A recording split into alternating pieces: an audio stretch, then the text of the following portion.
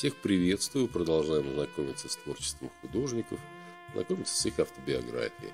Американский художник Чарльз Спарк Пирс родился 13 октября 1851 года в Бостоне в семье богатого коммерсанта, торговца китайским фарфором. Мать мальчика была дочерью поэта Чарльза Спарка. Я пользуюсь Википедией. В доме царила обстановка преклонения перед искусством, особенно музыкой. После окончания школы Чарльз в течение пяти лет работает в фирме отца. Затем в августе 1873 года по рекомендации художника Уильяма Морриса Ханта уехал изучать живопись в Париж. Пирс вместе с другим американским художником Фредериком Бриджманом совершил путешествие по Египту. В это время он рисовал преимущественно жанровые картины, исторические полотна и портреты. Зимой 1874-1875 годах Пирс уже с художником Уильямом Сартейном уехал на этюды в Алжир. В 1876 впервые выставляется в Парижском салоне.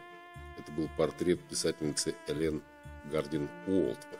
В том же году одна из его работ появилась на Всемирной выставке в Филадельфии. Пребывание на Востоке оказало большое влияние на творчество Пирса. В этот период художник часто обращался к библейским темам.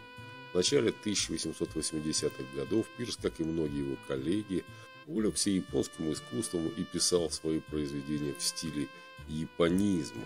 Под влиянием произведений Бастиена Лепажа и Жана Франсуа Милле писал картины на тему из крестьянской жизни, все более приближаясь по выбору цветовой палитры к творчеству импрессионистов. В 1896 году закончил выполнение заказа библиотеки Конгресса США в Вашингтоне на монументальную живопись.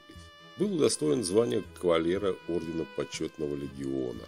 Умер 18 марта 1914 года. Вот так вкратце о американском художнике Чарльз Спарк Пирс. Пока-пока, до свидания, смотрим работу.